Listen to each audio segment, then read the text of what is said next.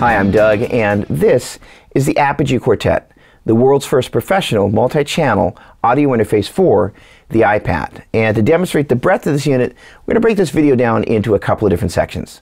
First of all, we're going to talk about the paradigm shift this unit really represents, and that it's the only Mac-centric audio interface you can use interchangeably with just about any desktop, laptop, or iOS Mac device to record music virtually anywhere you make it. Very cool. Then we're going to talk about the feature set of the unit in combination with the bundled Maestro application. Then finally, we're going to do a mini tutorial kind of deconstructing the audio sessions from a series of 15 second Instagram videos we did with Apogee to promote this unit. And that's going to give you some insight into how I was able to use this unit in combination with some of the most popular apps out there to engage a pretty discerning audience with very positive results, which is kind of ultimately what we want to do, right? We want to use our craft to engage an audience and have them enjoy what we're doing. And this unit makes it super easy to do that. So let's dig in. So as I mentioned before, this unit really represents a pretty radical shift in paradigm for a couple of key reasons. First of all, the ability to kind of have what I refer to as a round trip solution that enables you to use one audio interface between all these different devices is tremendously powerful.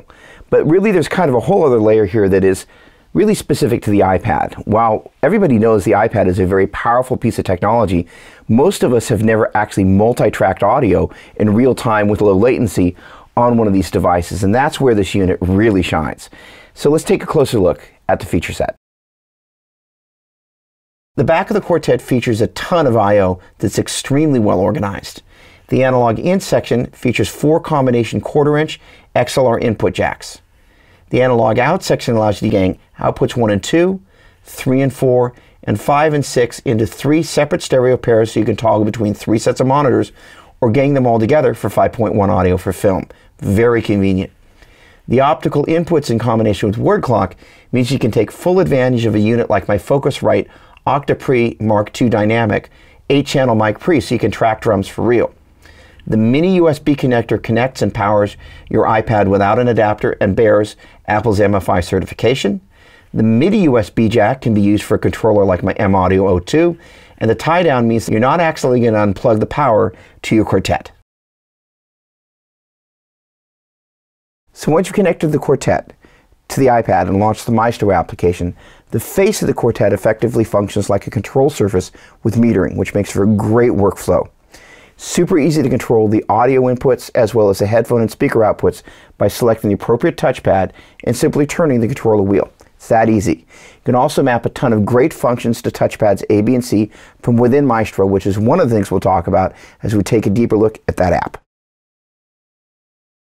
So once you've launched the Maestro application and selected the Quartet as your input device, the first view is the input view. And you can also select the output, mixer 1, mixer 2, device settings, and routing views to add extensive functionality to the massive I.O. on the back of the Quartet. We're going to start off by taking a look at the input view. As you look from left to right, the first four channel strips correspond to the four analog inputs on the back of the Quartet and ADAT 1 through 8 correspond to the light pipe inputs. Now the channel strips offer a huge range of flexibility, including the ability to select plus 4 or minus 10 line level to use your own mic pre's if you want to. But if you select mic or instrument, you're able to use the fantastic mic pre's found natively in the Quartet.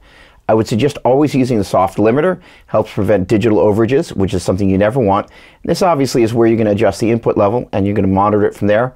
Now using the minus and plus signs allow you to bump the level up or down 1 dB at a time. Very convenient to just have that level of control there. Very smart.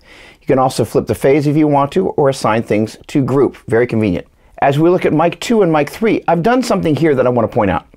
Let's say that this was the top of a snare and the bottom of a snare, or the front of an AC30 and the back of an AC30.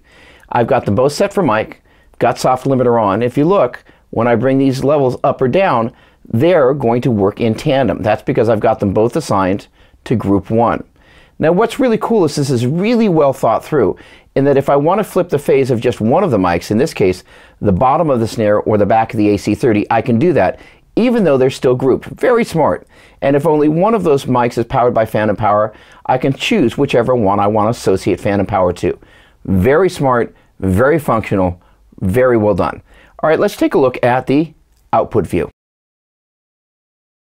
The first thing that I noticed about the output view was the separate channel strips for headphones and speakers, which really enables you to have a phenomenal tracking experience that's not tethered to your mixing experience.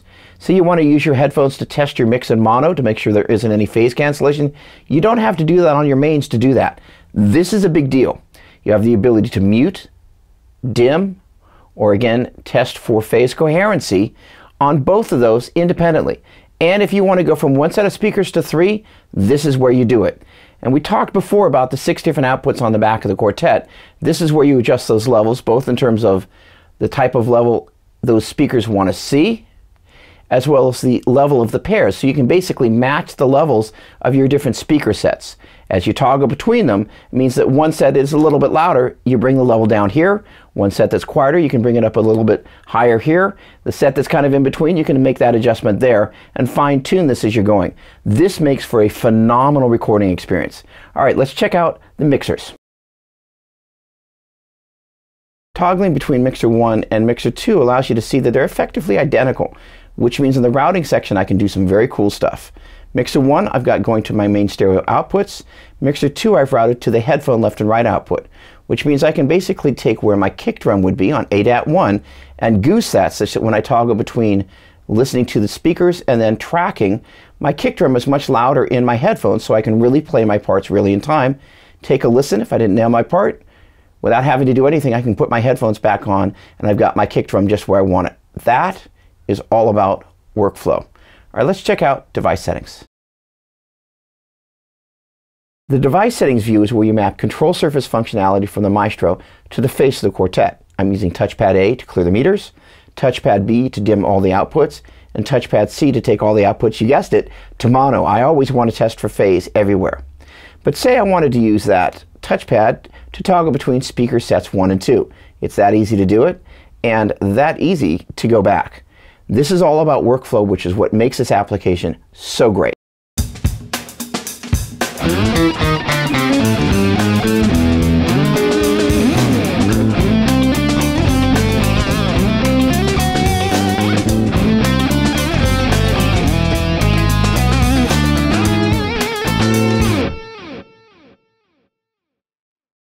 Before we deconstruct the production process on the tracks you just heard, there are a couple of really important things to point out.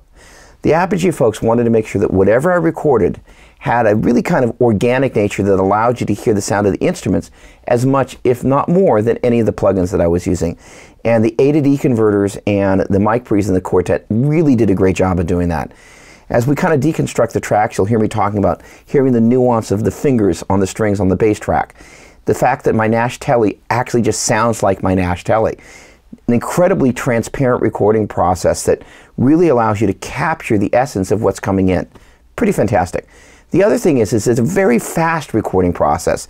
As much as I talked about the ability to use multiple mixers, for what I did for these sessions, it was very straightforward. It was me going straight into the quartet, into the iPad, and tracking into Auria and monitoring out of Auria through my speakers. That was it. So the thing about this process compared to working in Pro Tools on my iMac it's just way faster. Uh, you know, as much as I love being able to use my fancy mic pre's and do all these things that I can do, by the time I've worked with the different mics and got tones on the amps and got my parts in place, time has passed. And the great thing about this process, it's incredibly efficient. The tones are every bit as good as what I get on my iMac, and it's totally portable. This is an amazing recording experience. All right, let's deconstruct those tracks. So interestingly enough, the whole production process started on my iMac in GarageBand. Although I'm not the biggest GarageBand fan or user in the world, there are some great drum loops in there. So I basically harvested the loop, exported it to Dropbox, bought and launched the Auria application. This is an amazing application. And inside the menu there, I hit import audio, and that allowed me to access the Dropbox. And then I basically had the first channel strip there associated with my drum loop. All right, then I also added a click track and then I set up track three to record the bass. And this is what was so cool about this process for the bass. Is if you listen, you just really can hear the tactile nature of my fingertips hitting the strings. I mean, I've never had a better recording of this bass. And again, because I had the drum loop and the click, and I could hear things so clearly because of the A to D conversion and the mic pre's, it enabled me to get what I felt was a very strong track. So let's take a listen.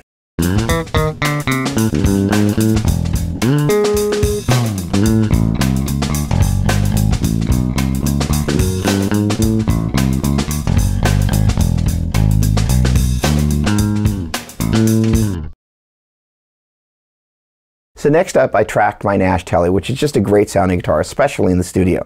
So I set up the fourth channel strip for that instrument, and I will add that neither that guitar nor the bass had any plugins inside Auria, although I was using the soft limiting inside Maestro, which again just provides a limit on it. It's not a compressor, you don't hear it grab or feel it grab, it just keeps things from getting into an overage. All right, again, this is the Nash Tele, totally clean.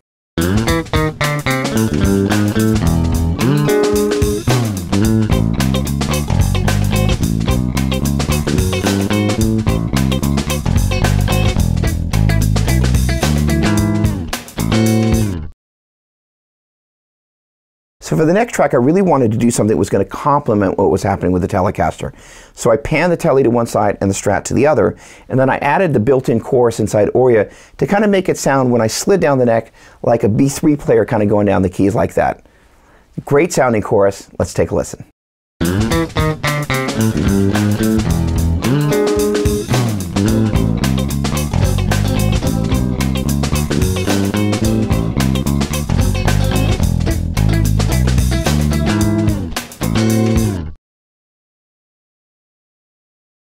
The distorted track, I used Positive Grid's JamUp plugin, and I used a tread plate model, which is basically Mesa Boogie, and then a Boss Delay and Boss Reverb model, and they just really allowed the guitar to just sit in that perfect place in the track. Tweaked it a little bit, but not too much. And what's really cool, at one point you hear me slide down the neck. You can actually hear the frets underneath my fingertips as I do that slide. It's a lot of fun. Let's take a listen.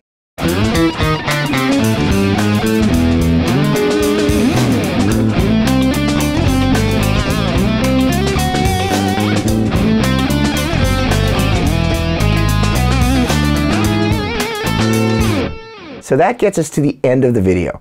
Hope you've enjoyed watching. This has been an awful lot of fun. For more information on the Apogee Quartet, including where you can find an authorized dealer, please visit geartunes.com. Cheers.